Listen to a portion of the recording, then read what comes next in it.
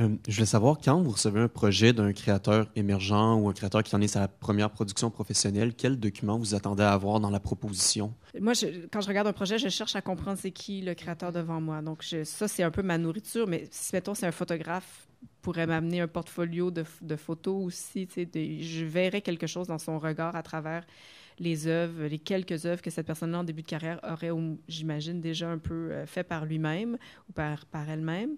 Puis après ça, euh, c'est le document, euh, de, de c'est l'intention du créateur. J'ai pas besoin de voir un scénario. Mm-hmm. C'est vraiment juste quelques pages.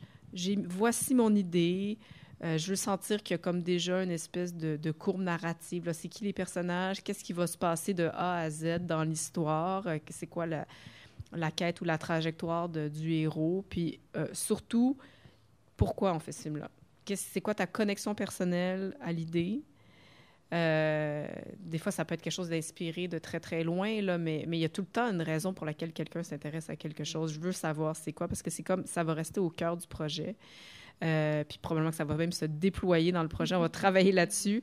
Euh, puis aussi, je veux pas à qui ça s'adresse, qu'est-ce que tu veux dire avec ce film-là, parce que il y, a, des millions de gens qui ont des millions d'idées, mais pour mériter d'être à l'écran, d'aller demander peut-être des millions de dollars pour le. Pourquoi c'est important? Pourquoi, pour, pourquoi on va porter cette, cette, euh, cette idée-là à l'écran, puis pourquoi les gens pourraient s'y intéresser? Donc, euh, c'est des questions difficiles. Des fois, on n'a pas nécessairement toutes les réponses, mais on a au moins des pistes là, euh, en début de projet. C'est important de se les poser comme créateur parce que le producteur va vous les poser, les, les, financiers vont vous les poser, le distributeur, les mm-hmm. comédiens, toute votre équipe.